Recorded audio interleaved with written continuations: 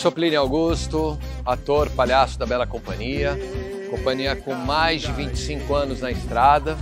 E estamos aqui, né, somando com esse festival maravilhoso na cidade de São Vicente, festival importantíssimo de acontecer no momento que nós estamos, né, a cultura retomando e, e, poder popularizar, né, democratizar a arte, fazendo um espaço público, né, levar para as praças, ocupar e trazer toda a comunidade para assistir.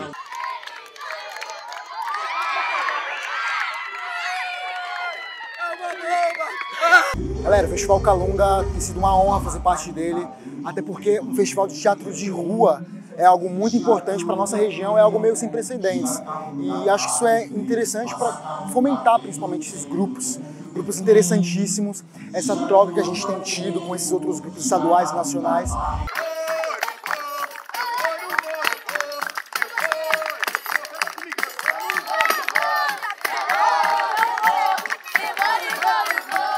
A importância do festival é trazer, fomentar a cultura na nossa cidade, nossa cidade que é tão carente de cultura e que necessita de novas iniciativas por parte dos governantes, principalmente mais.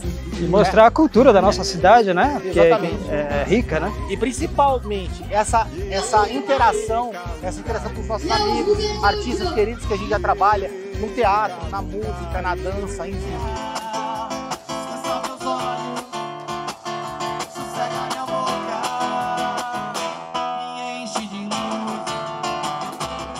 É, primeiramente, gostaria de agradecer né, ao, ao convite que a gente recebeu, quanto comunidade Guarani do município de São Vicente, é, o Teatro de Rua Salunga, né, que é um festival bem importante né, para a mostra cultural, principalmente. Né, e para nós é uma honra participar, vir, vir aqui, trazer as crianças e mostrar um pouco da, do artesanato e também da, de mostrar para o município e para toda a sociedade que tem comunidade Guarani aqui no município de São Vicente.